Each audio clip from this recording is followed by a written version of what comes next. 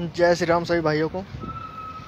भाइयों, आज हम आए हुए हैं फरीदाबाद गुड़गांव रोड पर एक मंदिर है, हनुमान जी का प्राचीन मंदिर है, जहाँ पर एक गौशाला चलाई जा रही है और यहाँ पर करीब 40 से 50 गायें हैं, जिनके खाने पीने की कोई व्यवस्था नहीं हो पा रही है। और आज हम बजरंग दल की तरफ़ से एक छोटा सा उपहार या फिर जो भी एक दान है, एक तरह के गौ माता के लिए दान तो नहीं बोल सकते हम कि हमें गौ माता है, जो कि इतना देने वाली है तो हम उसको दान कैसे दे सकते हैं? जिसने हमें इतना कुछ दिया है। एक छोटी सी भेंट ही लेकर आए हैं, बस हम उनके लिए खाने के लिए इंतज़ाम करके। कुछ भाई हैं हमारे साथ में, जो ले करके आए हैं। तो देखिए अब यहाँ पर गौ माता हैं।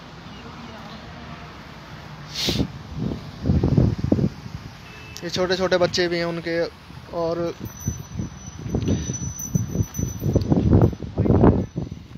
अभी कुछ गाय बाहर गई हुई हैं और कुछ अंदर हैं तो मैं आपको सारे दिखा देता हूँ एक बार।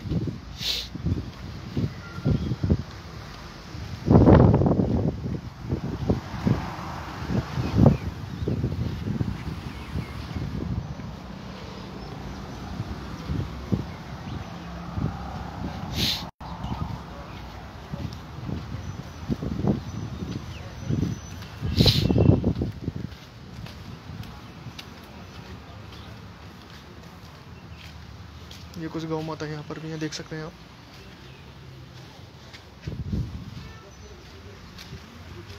कुल मिलाकर इतना है कि जो भी भाई इस वीडियो को देखेंगे या देख रहे हैं, वो ज़्यादा से ज़्यादा शेयर करें ताकि इन गौ माता की रक्षा के लिए कुछ भी जो दान हो सके वो किया जा सके।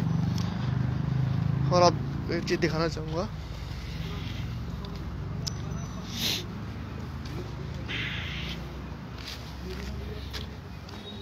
ये देखिए, ये नील गाय का बच्चा है, जिसके पीछे कल या परसों रात को एक चीता, वो लग गया था तो जिससे इसको जख्म भी हो गया, देख सकते हैं आप। इसको जख्म हो गया था जिससे ना, और ये किसी तरह से अपनी जान बचाकर यहाँ तक पहुँचा है।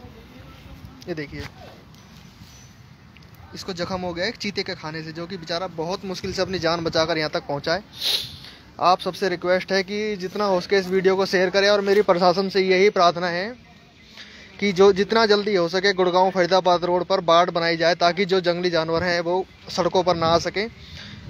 और जो भी यहाँ पर इस तरीके से काम हो रहे हैं जैसे अभी मैंने आपको दिखाया इस बच्चा नील गाय का बच्चा है जिसको एक चीते ने जख्मी कर दिया है। आप देख सकते हैं तो बेचारे को वो किसी तरीके से अपनी जान बचा कर यहाँ पर आ, आ चुका।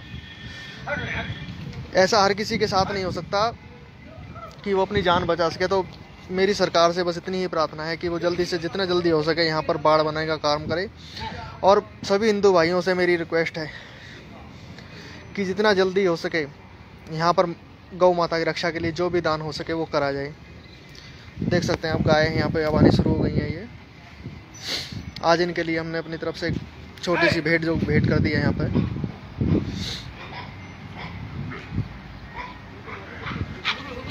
ये छोटे से बच्चे हैं, बजरंग दल की तरफ़ से।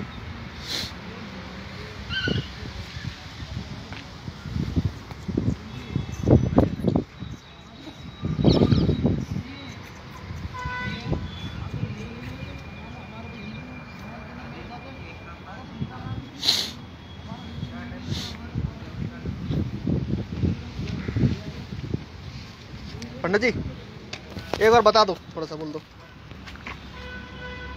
हाँ जी यहाँ पर जो गायों का है जो चारा कैसे कैसे कैसे कर पा रहे हैं अब जो है? आपके जैसे भक्तों से मांग माँगता हूँ।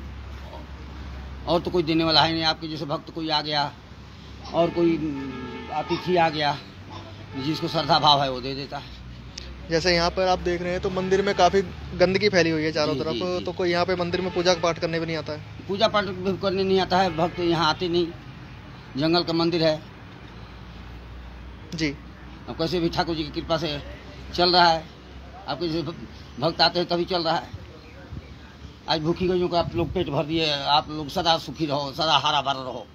हम तो यही कहेंगे हम हम हमारी औकात नहीं है हमारी इतनी बड़ी औकात नहीं है कि तो, हम तो बस सेवा करने को हैं हमारी सेवा ही हमारे लिए तो। और हमारी इतनी बड़ी औकात हमारी इतनी औकात नहीं है कि जो हम बहुत बड़ा सेवा की भैया आप आप हम तो सेवादार हैं हम तो बहुत बड़ा सेवा किए बहुत बड़ा बस आपका आशीर्वाद बना रहना चाहिए। जय श्री राम सभी भाइयों को। जय श्री राम भाई साहब जी। आज हमारा बजरंग दल फरीदाबाद यहाँ पे हमें क्रेसर जॉन चौक पे जो हनुमान मंदिर है यहाँ पे गौ गौशाला है और यहाँ सेवा में आए हैं भाई साहब। कौन बोल रहा भाई? सारे भाई जो भी भाई इनसे हुआ थोड़ा बहुत गौ माता के लिए हमने सेवा करने सेवा करने की सोची है और सेवा उन्हीं उन्हीं के लिए कुछ खाना पीने के लिए लेकर आए थे। और सारे सब भाइयों से निवेदन है कि जो भी भाई इधर से गुजरता हो जो भी सनातनी भाई इधर से गुजरे और इस मंदिर पर होकर जाए और गौ माता हैं यहाँ, तीस चालीस से करीब तीस चालीस गाँव, गायें हैं, जो कर कुछ पहले कृषि जौन चलता था, उसकी वजह से इनके लिए कुछ भाई जो सेठ लोग थे, ये दे जाते थे खाने के लिए। लेकिन अब कुछ दिन से स्थिति इस तरह से है कि इनकी आर्थिक स्थिति बिल्कुल खराब हो गई है। गाय, गायों के लिए ना खाने के लिए कुछ है, ना कुछ, वैसे भी कुछ नहीं है। तो भाइयों, सभी भाइयों से निवेदन है कि सारे के सारे भाई जो भी भाई यहाँ से हमारा कोई भी सनातनी भाई गुजरता हो एक बार इस मंदिर पर ज़रूर रुकें। और हमारी जो ये गौ माता हैं इनके लिए कुछ ना कुछ सेवा करके जाएँ।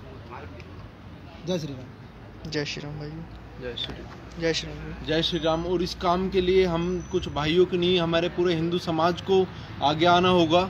ये गाय हमारी गौ माता है जो इन 33 करोड़ देवी देवताओं का एक प्रतीक है, उन वो इस इस दर्द दर्द हालत में रहें, ये हमारे लिए हिंदू समाज के लिए, संपूर्ण हिंदू समाज छत्तीस बरादरी के लिए एक डूब मरने वाली बात है।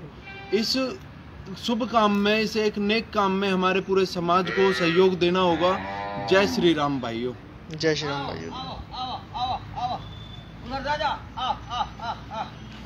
तो भाइयों, बस इतना ही कहना चाहेंगे कि जो भी भाई इस धर्म के लिए दान करना चाहता है, जो भी गौ माता की सेवा करना चाहता है, वो एक बार ज़रूर यहाँ आए।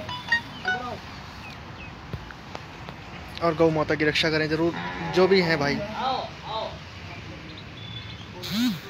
बस इतना ही कहना चाहेंगे कि जो भी गौ माता है यहाँ पर, उनके खाने के लिए एक टाइम का खाना तो ठीक ठाक मिल सके उनको।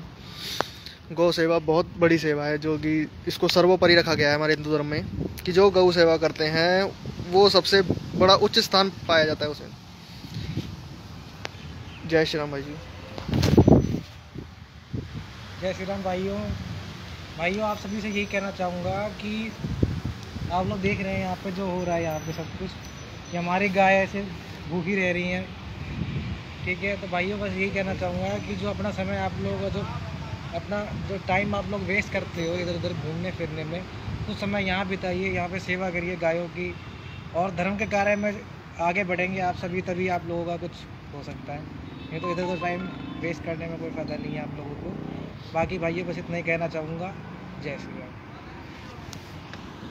जय